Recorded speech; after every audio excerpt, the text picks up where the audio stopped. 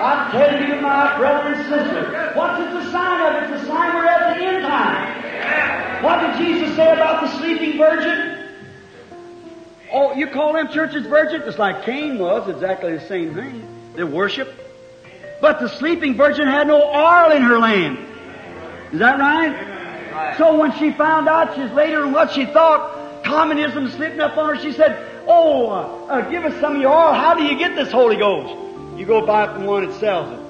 And remember, the very time that the sleeping virgin went to buy the oil, that's when the bridegroom came. Don't you see it? If the Presbyterians and the Episcopalians and those others are come seeking for the Holy Ghost, you'd better get your lamp trimmed. Trimmed. Trimmed. Yes, it needs trimming. Pentecost better be trimming some right. Amen. Get a lot of this world cut away from you. You done got corroded over. The wick's got in bad shape. You know that wick is a great thing. I used to watch what a real wick of God is, a, a believer, is a wick.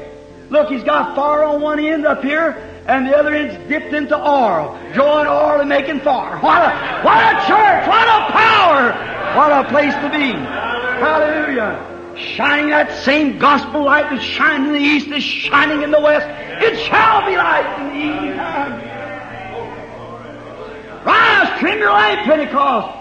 Trim off the world, trim off the fashions of the world, trim off the things of the world. Get ready. The hour is at hand.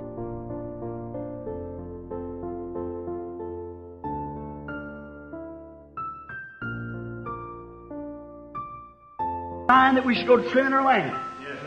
God raised up some preachers that'll go to trimming lamps. I'm telling you, what we need today is something that'll trim a lamp. So the true Pentecostal fire. You get an old lamp all where the, the carbon gets on the lamp wick. It'll smoke your lamp all up. That's what's the matter with us. We got too much carbon on the lamp. Too much carbon. The fire can't draw right. It can't get enough air from the bottom. What we need is a good breathing spell. a good breath, fresh breath from heaven of the baptism of the Holy Ghost over again and the Holy Spirit working in the church with signs and wonders following the true seal of God.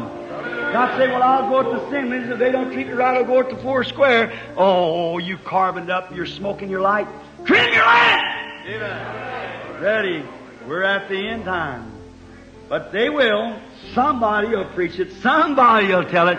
Somewhere there'll be some of them that'll get it. Amen. That's right. I don't know how many, because he says it was in the days of Noah, so will it be in the coming of the Son of Man, where eight souls are saved.